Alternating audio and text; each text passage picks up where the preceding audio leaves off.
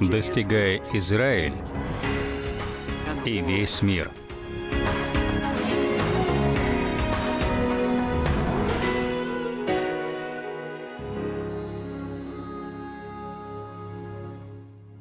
Шалом. Мир Божий вам. Добро пожаловать на передачу «Узнавая еврейского Иисуса». Сегодня мне не терпится услышать полноту Евангелия. Вот что я люблю в твоей проповеди. Ты являешь полноту Евангелия. Я думала о том, что во времена, когда Иешуа, Иисус, ходил по земле, единственное Писание, что было у них, это Ветхий Завет. Их знания о Боге основывались на Ветхом Завете. Принято считать, что полнота Иешуа базируется на Ветхом Завете. И я знаю, что сегодня ты будешь говорить именно об этом. И я очень жду. Знаешь, есть связь между Духом и Словом.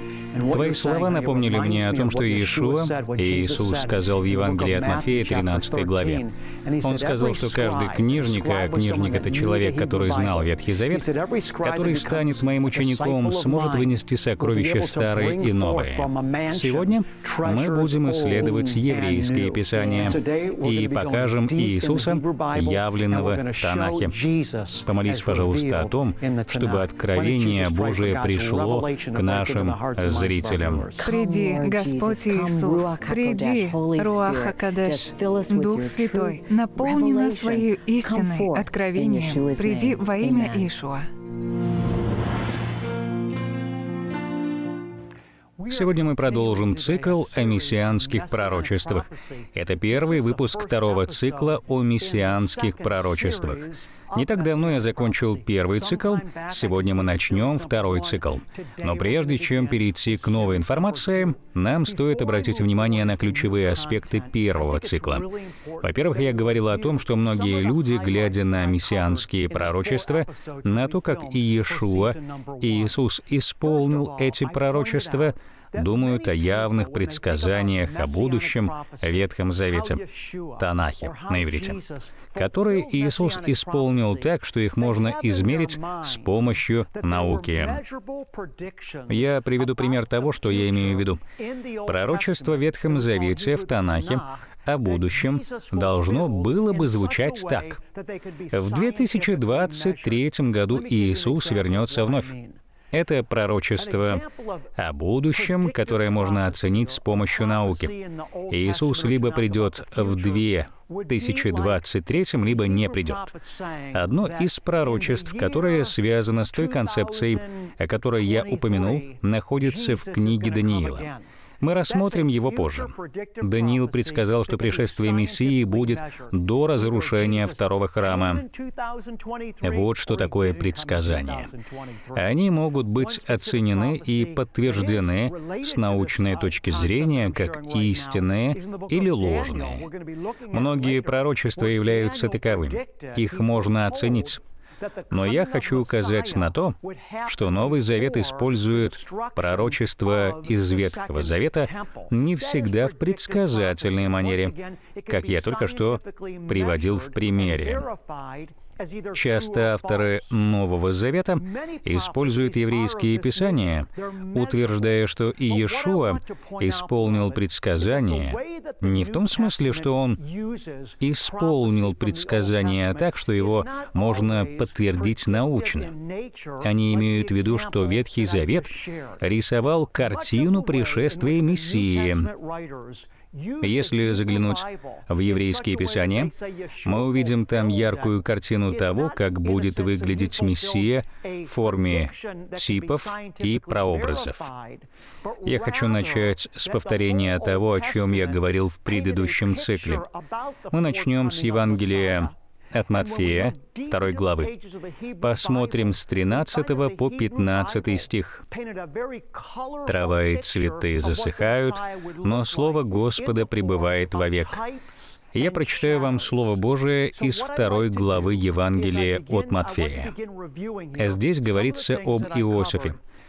«И там был до смерти Ирода да сбудется реченное Господом через пророка, который говорит, «Из Египта возвал я сына моего». Я хочу, чтобы в первую очередь вы поняли, что Матфей использует местописание из еврейской Библии. Оно взято из книги Осии, 11 главы. Матфей цитировал Осию, 11 главу, 1 стих. Там сказано «из Египта возвал я сына моего». Матфей говорит, что Иешуа исполнил это пророчество, потому что Бог позвал отца Иешуа, а именно Иосифа, и его мать, Марию, после смерти Ирода назад и вернул их в Израиль. Я повторю, чтобы вы поняли суть. Многие из вас помнят, что после того, как Иешуа родился, Ирод услышал о том, что родился царь. Волхвы увидели звезду и поняли, что родился царь Израиля. Ирод, который был тогда царем, ощутил в этом угрозу. Когда он услышал о том, что родился новый царь, то испугался, что утратит власть. Ирод приказал убить младенцев. Тогда ангел пришел к Иосифу, земному отцу Иешуа, который воспитывал его — и сказал ему, «Отведи ребенка в Египет, потому что Ирод будет убивать младенцев здесь». И по повелению ангела Иосиф пошел с семьей в Египет. Затем, когда Ирод умер, ангел снова обратился к Иосифу и сказал, «Вернись с Иешуа в Израиль». А вот почему Матфей цитирует Писание «из Египта». Иисус и его семья были в Египте. Теперь ангел говорит им вернуться в Израиль. Бог говорит, «Из Египта возвал я сына моего». Давайте-ка сложим все это воедино. В книге Осии, 11 главе, 1 стихе, мы видим, что в изначальном историческом контексте это не пророчество, предсказывающее будущее. В Осии Бог вспоминает историю Израиля, своего первенца. Бог говорит через Осию из Египта «Воззвал я сына моего». Бог уже призвал Израиль из Египта. Это не было предсказательное пророчество. Господь просто напоминал Израилю о том, что Он сделал когда-то для них. Он вывел их из Египта. Бог призвал Израиль. Евреи находились там в рабстве на протяжении 400 лет. И тогда Господь избавил их через кровь Агнца, которая была символом Иешуа. Он вывел Израиль из Египта. Бог призвал своего сына, своего первенца Израиля. Иешуа родился, а затем отец отвел его в Египет, чтобы защитить от Ирода. А когда Ирод умер, Иосиф должен вернуться с Иешуа в Израиль. А вот почему Матфей цитирует это место из Осии.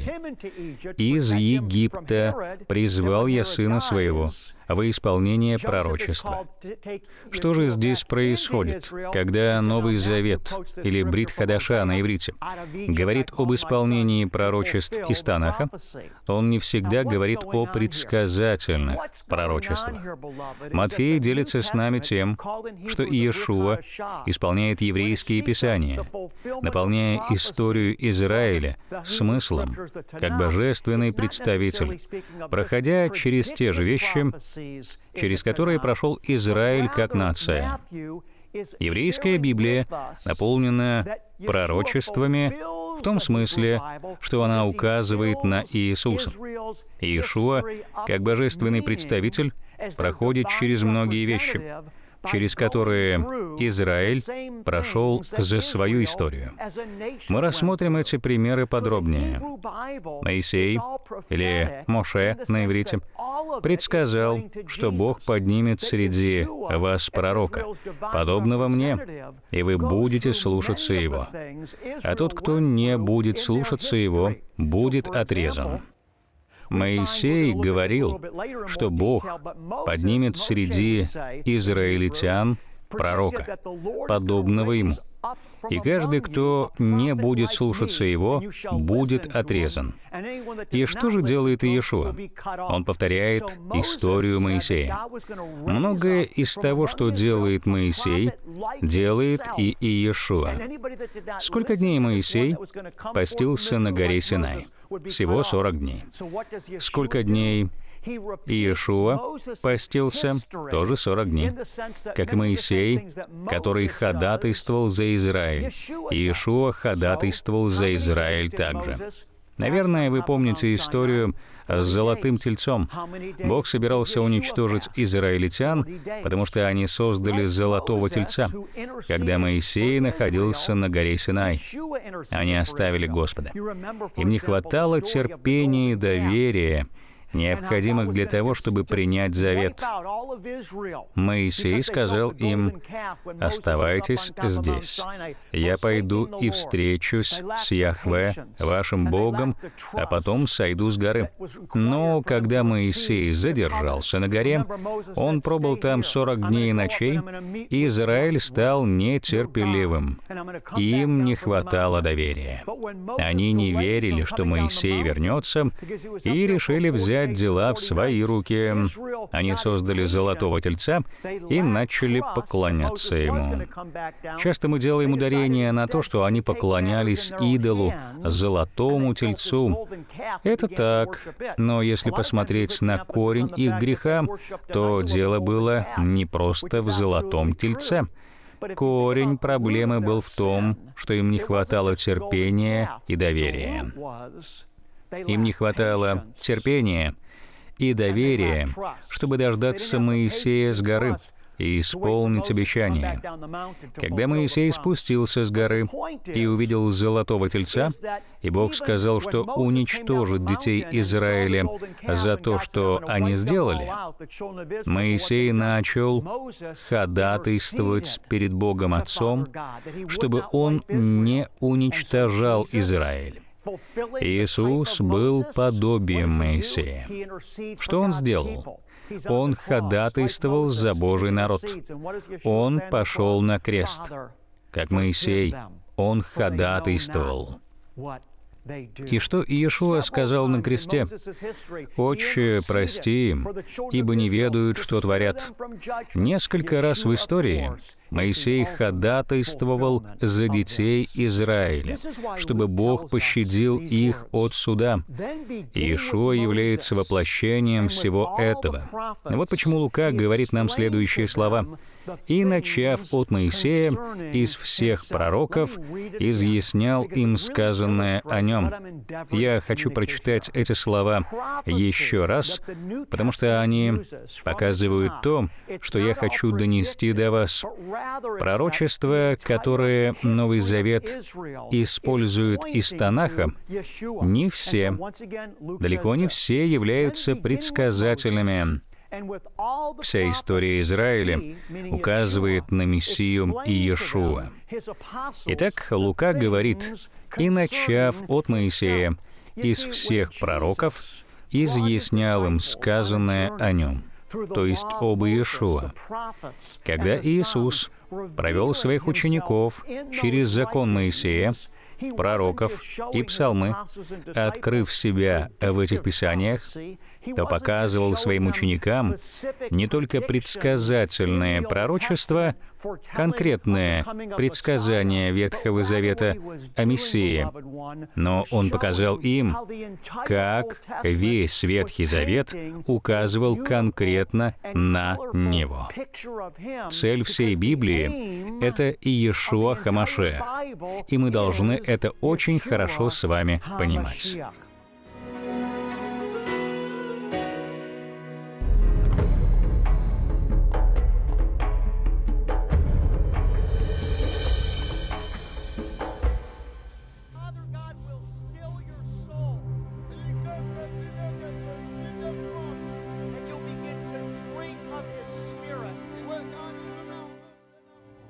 Я здесь, чтобы провозгласить сегодня вам, тем, кто голоден, тем, кто жаждет, кто недоволен жизнью.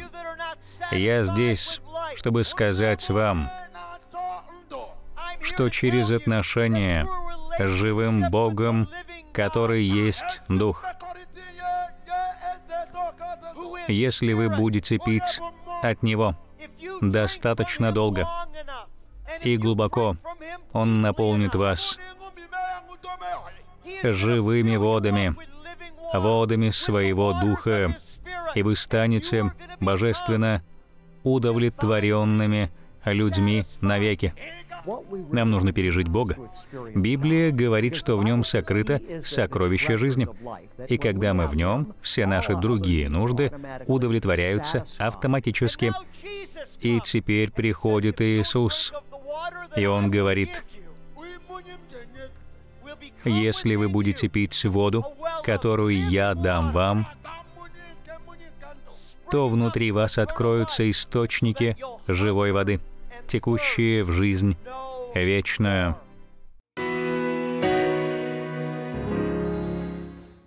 Мой друг Майкл Браун как-то сказал, большая часть пророчеств — это скорее музыка, чем математика, скорее проза, чем наука.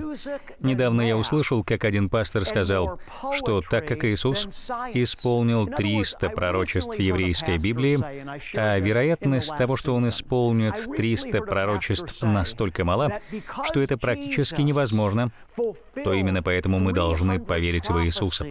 Проблема с этим заявлением кроется вот в чем? Он утверждает, что было 300 предсказательных пророчеств Ветхого Завета, которые исполнил Иешуа. Пророчества, которые можно проверить математически. Но часто Новый Завет использует еврейское писание, говоря о том, что Иешуа исполнил пророчество не в отношении предсказаний. Мы не можем сказать, да, Иисус исполнил это, потому что пророчество говорило, что именно это случится в это время и таким образом. И Иисус сделал все именно так, как предсказывали еврейские писания. Нет, Новый Завет использует еврейские писания, говоря о том, что Иисус исполнил пророчество, показывая не только то, как Он исполнил некоторые предсказательные пророчества, но как Иешуа исполнил типы и образы еврейского писания. Например, в еврейском писании мы видим важность. Книга Левит или Ваикра на иврите, 17 глава, 11 стих говорит следующее. «Потому что душа тела в крови, и я назначил ее вам, говорит Господь, для жертвенника, чтобы очищать души ваши, ибо кровь сия душу очищает». Везде в еврейском писании мы слышим о важности крови. Когда Израиль получил 10 заповедей, завет, Моисей провозглашал завет перед народом Израиля. Вот тогда они отвечали, «Все, что сказал Бог, мы сделаем». И тогда Моисей окропил их кровью, и это была кровь завета. Вновь и вновь мы видим важность крови. Йом-Кипур — главный праздник в еврейском календаре. Первосвященник брал кровь быка и козла и приносил ее во святое святых. Это святое место находилось сначала в Скинии, а потом в храме. Первосвященник приносил эту кровь и выливал ее на ковчег завета, на крышку милости. И когда Господь видел эту кровь, то прощал Израиль за год грехов. В еврейском писании мы видим важность крови. Что сделал Иешуа? Когда он устроил последнюю вечерю с учениками, то взял вино и сказал благословение. «Благословен Ты, Господь наш Бог, Царь Вселенной, который дает нам плод лозы виноградной. Вот как это звучит на иврите. Halam, borei pri hagafen, а потом он взял чашу и дал ее ученикам. Он сказал, «Это моя кровь, которая проливается за вас в прощение грехов. Это кровь завета.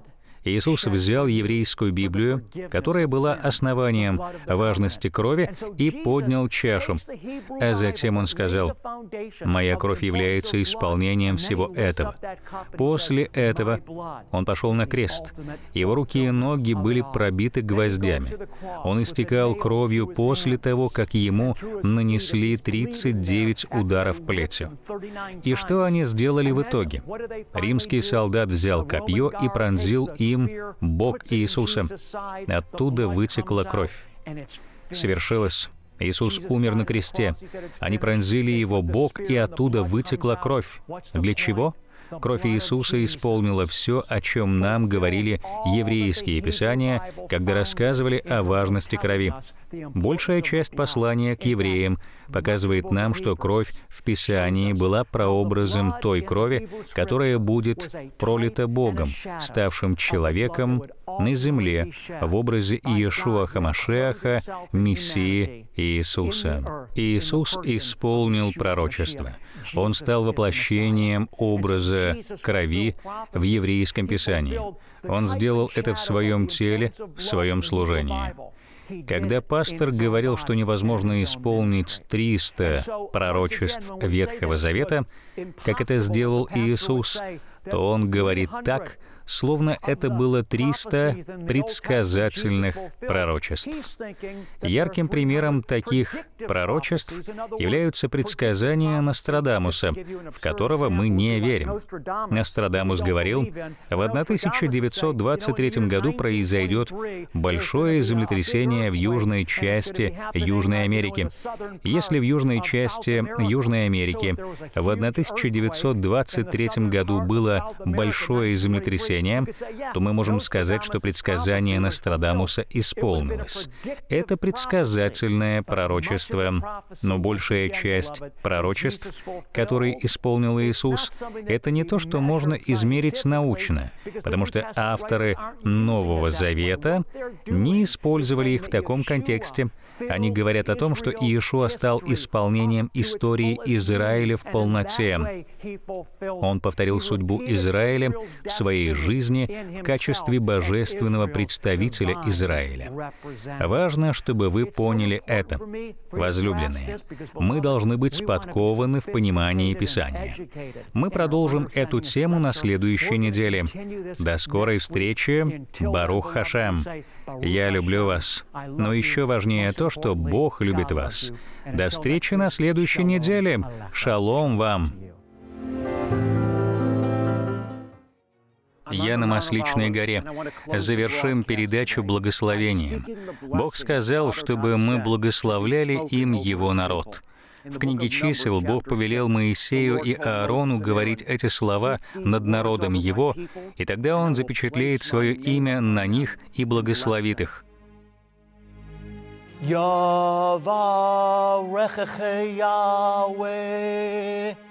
Vayishmarecha. Ya'er Yahweh panav elecha vichunecha. Yisa Yahweh panav elecha ve'asem lecha. Shalom.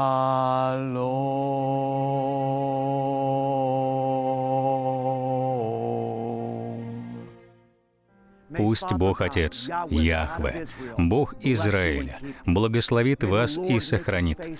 Пусть Господь презрит лицом Своим на вас и будет милостив к вам. Да обратит Господь лицо Свое на вас. И пусть Бог Отец продолжает непрестанно давать вам Божий мир. Если двое из вас согласятся на земле просить о всяком деле, то чего бы ни попросили, будет им от Отца Моего Небесного. Позвольте нам молиться о вас. Присылайте нам на сайт ваши молитвенные просьбы или пишите на наш почтовый адрес Наша команда молитвенников молится за каждую нужду в отдельности. Когда вы получите ответ от Бога, или если Бог коснулся вас через наше служение, вышлите нам свое свидетельство. Мы хотим радоваться вместе с вами. Ваше свидетельство вдохновит других. Мы побеждаем кровью Агнца и словом свидетельства своего. Следующий раз на передаче «Узнавая еврейского Иисуса» Равина расскажет о том, как побеждать и стоять твердо в вере. Не пропустите этот выпуск.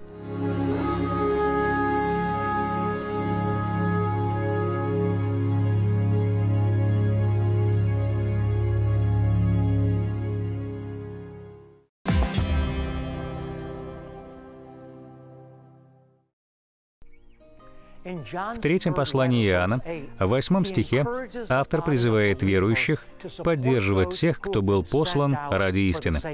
Я хочу попросить вас стать нашим ежемесячным партнером в Господе. Как вы знаете, мы делимся радостной вестью о Мессии Иисусе через телевидение и евангелизации по всему миру. Возлюбленные, мы не можем делать этого без вашей помощи.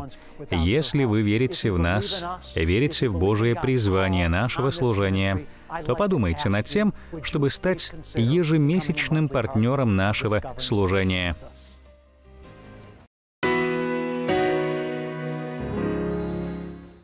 Спасибо, что были сегодня с нами. Возлюбленные, я молюсь о том, чтобы Бог Отец продолжил и дальше использовать меня в качестве клинка Его Слова, которое живо и действенно острее меча обоюда острова. Оно приходит к нам в силе Духа Святого через Мессию Иисуса. Чтобы этот процесс происходил, я должен находиться под Его властью. А когда мы находимся под Ним, это влияет на наши мысли, наши отношения, наши слова, на все в нашей жизни, включая использование наших финансов. Я предлагаю вам отдать свои финансы Богу. Мы не можем войти в полноту Его присутствия, не отдав себя Ему во всех сферах своей жизни. Если Господь благословляет вас через это служение, и вы ощущаете призыв сделать пожертвование, тогда возлюбленные, я прошу вас, будьте послушны. Господь да благословит вас обильно. Если вы хотите стать нашим партнером, то отправляйте свои пожертвования по адресу, который вы видите на экране. Для пожертвований кредитной картой позвоните нам по номеру 800 3 семерки 7835 или отправьте смс. Или же вы можете сделать это на нашем сайте. В знак благодарности мы вышлем вам аудиопроповедь Равина Шнайдера и наш информационный бюллетень. Ваше даяние принесет Божие спасение в Израиль Израиль и весь мир через интернет, телевидение и крусейды. Свои смс-сообщения вы можете присылать нам на номер 453 На земле многие из нас верны Господу в финансах. Если вы желаете почтить Господа своими финансами, отправившись на небеса, зайдите в раздел «Завещание» Телепередача Равина Курта Шнайдера «Узнавая еврейского Иисуса» теперь доступна на русском языке на YouTube. Равин является евреем, верующим в Мессию Иисуса. Вы получите откровение сегодня для вашего лучшего завтра. Посетите YouTube сегодня и подпишитесь на канал «Узнавая еврейского Иисуса».